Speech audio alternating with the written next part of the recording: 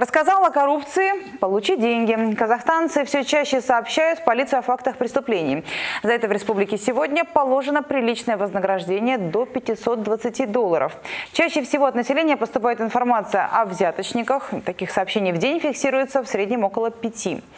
А также с начала этого года, благодаря звонкам граждан, полицейским стало известно о почти 20 фактах подкупа и превышения должностных полномочий. Поэтому к любым подобным сигналам стражи порядка относятся крайне внимательно.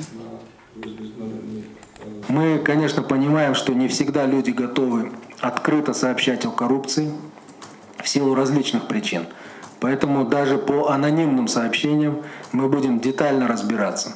Если факт найдет свое подтверждение, реакция с нашей стороны будет мгновенной.